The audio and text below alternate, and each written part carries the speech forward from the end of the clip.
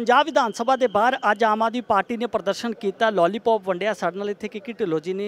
ਕਾਂਗਰਸ ਦੇ ਵਿਧਾਇਕ ਨੇ। ਵਿਧਾਇਕ ਸਾਹਿਬ, ਅੱਜ ਪ੍ਰਦਰਸ਼ਨ ਕੀਤਾ। ਆਮ ਆਦਮੀ ਪਾਰਟੀ ਨੇ ਲੋਲੀਪੌਪ ਵੰਡਿਆ। ਕਹਿੰਦੇ ਸਾਨੂੰ ਵੀ ਲੋਲੀਪੌਪ ਮਿਲਿਆ, ਜਨਤਾ ਨੂੰ ਵੀ ਲੋਲੀਪੌਪ ਮੈਂ ਸਮਝਦਾ ਦਿਲੋਂ ਬਹੁਤ ਦੁਖੀ ਨੇ, ਪਰ ਮਜਬੂਰੀਆਂ ਹੈ ਕਿ ਇਹੋ ਜਿਹੇ ਡਰਾਮੇ ਕਰਨੇ ਪੈਂਦੇ ਆ, ਕਿਉਂਕਿ ਕੁਛ ਨਾ ਕੁਛ ਤਾਂ ਉਹਨਾਂ ਨੂੰ ਆਪੋਜੀਸ਼ਨ ਦੇ ਹੁੰਦੇ, ਉਹਨਾਂ ਨੂੰ ਦਿਖਾਉਣਾ ਪੈਣਾ ਅੰਦਰੋਂ ਅੰਦਰ ਹੀ ਉਹ ਸਹਿਮਤ ਨੇ, ਦਿਲੋਂ ਸਮਝਦੇ ਨੇ ਕਿ ਬਹੁਤ ਵਧੀਆ ਬਜਟ ਹੈ। ਹਰੇਕ ਵਰਗ ਦਾ ਧਿਆਨ ਰੱਖਿਆ ਗਿਆ ਹੈ। ਵੱਧ ਤੋਂ ਵੱਧ ਜਿ- ਹਰੇਕ ਵਰਗ ਦਾ ਫਾਇਦਾ ਕੀਤਾ ਗਿਆ ਮੈਂ ਸਮਝਦਾ ਬਹੁਤ ਹੀ ਪੋਜ਼ਿਟਿਵ ਤੇ ਪੰਜਾਬ ਵਾਸਤੇ ਅਗਾਂਹ ਵਧੂ ਬਜਟ ਹੈ। ਸਭ ਤੋਂ ਵੱਡੀ ਗੱਲ ਕਿ ਜਿਹੜੀਆਂ ਨੌਜਵਾਨ ਨੇ, ਉਹਨਾਂ ਵਾਸਤੇ ਨੌਕਰੀਆਂ ਦੇ ਸਾਧਨ ਖੋਲੇ ਗਏ ਨੇ। ਸੋ ਇਸ ਕਰਕੇ ਹਰੇਕ ਪੱਖੋਂ ਹੀ, ਕਿਸੇ ਪੱਖੋਂ ਵੀ ਨਹੀਂ ਲੋਲੀਪੌਪ ਛੱਡ ਕੇ ਭਾਵੇਂ ਟੌਫੀਆਂ ਲਈ ਫਿਰਨ ਤੇ ਭਾਵੇਂ ਚਾਕਲੇਟ ਲਈ ਫਿਰਨ ਇਹ ਹੁਣ ਇਹਨਾਂ ਨਾਲ ਕੰਮ ਨਹੀਂ ਚੱਲਣਾ ਗੱਲ ਤਾਂ ਹੁਣ ਚੱਲੂਗੀ ਜੋ ਲੋਕਾਂ 'ਚ। ਉਹ ਕਹਿੰਦੇ ਨੇ ਕਿ ਪਿਛਲੇ ਬਜਟ ਦੇ ਵਿੱਚ ਵੀ ਜੋ ਅਨਾਉਂਸਮੈਂਟਸ ਕੀਤੀਆਂ ਗਈਆਂ ਸੀ ਉਹ ਵੀ ਪੂਰੀਆਂ ਨਹੀਂ ਕੀਤੀਆਂ ਤੇ ਇਹ ਵੀ ਅਨਾਉਂਸਮੈਂਟਸ ਪੂਰੀਆਂ ਨਹੀਂ ਦੇਖੋ ਗੱਲ ਇਹ ਹੈ ਇਹ ਸਾਡੀ ਜ਼ਿੰਮੇਵਾਰੀ ਹੈ। ਅਸੀਂ ਲੋਕਾਂ ਨੂੰ ਜਵਾਬਦੇ ਹਾਂ।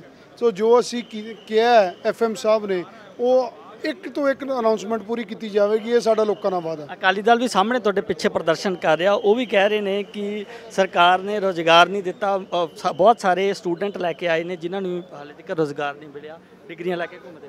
ਹੁਣ ਦੱਸਾਂ ਡਰਦੇ ਡਰਦੇ ਕਿਹੜੇ ਗੱਲੋਂ ਹੈ?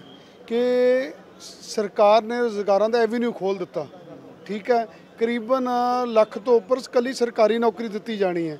ਸੋ ਹੁਣ ਘਬਰਾਹਟ ਇਸ ਗੱਲ ਦੀ ਹੈ, ਉਹ ਐਵੇਂ ਆਪਦੇ, ਉਹ ਕਹਿੰਦੇ ਹੁੰਦੇ ਨਾ ਕਿ ਹੁਣ ਹੁਣ ਉੱਤੋਂ ਦੀ ਘੜੀਸਦੇ ਆ।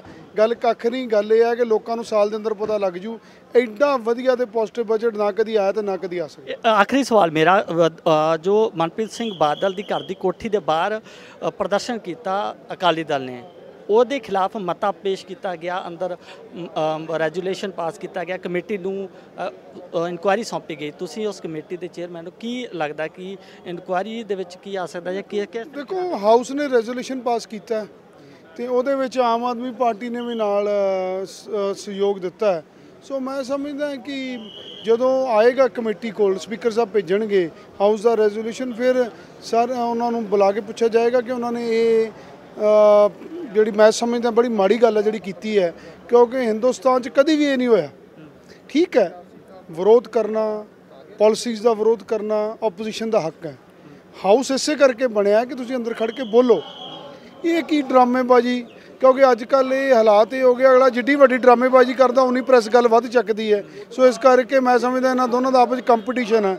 ਕੋਈ ਵਿਚਾਰਾ ਲੋਲੀਪੌਪ ਚੱਕੀ ਫਿਰਦਾ ਤੇ ਕੋਈ ਵਿਚਾਰਾ ਚਾਕਲੇਟ ਚੱਕੀ ਫਿਰਦਾ, ਕੋਈ ਬੂਹੇ 'ਚ ਵੜਿਆ ਫਿਰਦਾ, ਕੋਈ ਉੱਤੇ ਵਿਚਾਰਾ ਲਮਕਦਾ ਫਿਰਦਾ, ਸੋ ਇਹ ਸਭ ਡਰਾਮੇਬਾਜ਼ੀ। ਧੰਨਵਾਦ।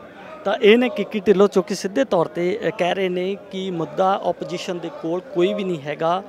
ਹਾਲਾਂਕਿ ਬਜਟ ਨੂੰ ਲੈ ਕੇ ਜਿਸ ਤਰੀਕੇ ਨਾਲ ਵਿਰੋਧ ਕੀਤਾ ਜਾ ਰਿਹਾ ਬਜਟ ਦੇ ਵਿੱਚ ਸਾਰੇ ਹੀ ਪੱਖਾਂ ਦਾ, ਸਾਰੇ ਹੀ ਨੌਜਵਾਨਾਂ, ਕਿਸਾਨਾਂ ਦਾ ਧਿਆਨ ਰੱਖਿਆ ਗਿਆ। ਹਾਲਾਂਕਿ ਆਪੋਜੀਸ਼ਨ ਇਸ ਮੁੱਦੇ ਤੇ ਲਗਾਤਾਰ ਸਰਗਰਮ ਹੈ ਤੇ ਆਪੋਜੀਸ਼ਨ ਵੱਲੋਂ ਕਿਹਾ ਜਾ ਰਿਹਾ ਕਿ ਸਰਕਾਰ ਨੇ ਕਿਸਾਨਾਂ ਦਾ, ਨੌਜਵਾਨਾਂ ਦਾ, ਪੰਜਾਬ ਦੇ ਲੋਕਾਂ ਦਾ, ਵੋਟਰਾਂ ਦਾ ਬਿਲਕੁਲ ਧਿਆਨ ਨਹੀਂ ਰੱਖਿਆ। ਸਿਰਫ ਵਾਅਦੇ ਕੀਤੇ ਨੇ, ਦਾਅਵੇ ਕੀਤੇ ਨੇ। ਉਹ ਦਾਅਵੇ ਵਾਅਦੇ ਕਦੇ ਪੂਰੇ ਨਹੀਂ ਹੋਣੇ। ਇਸ ਤਰ੍ਹਾਂ ਦੀਆਂ ਗੱਲਾਂ ਲੈ ਕੇ ਅੱਜ ਵਿਧਾਨ ਸਭਾ ਦੇ ਬਾਹਰ ਆਪੋਜੀਸ਼ਨ ਲਗਾਤਾਰ ਵਿਰੋਧ ਪ੍ਰਦਰਸ਼ਨ ਕਰ ਰਹੀ ਹੈ। ਚਾਹੇ ਉਹ ਅਕਾਲੀ ਦਲ ਹੋਵੇ, ਚਾਹੇ ਉਹ ਆਮ ਆਦਮੀ ਪਾਰਟੀ ਹੋਵੇ। ਕੈਮਰਾਮੈਨ ਪ੍ਰਵੀਨ ਪਾਂਡੇ ਦੇ ਨਾਲ Ravinder Singh Dainik Savera TV, Chandigarh.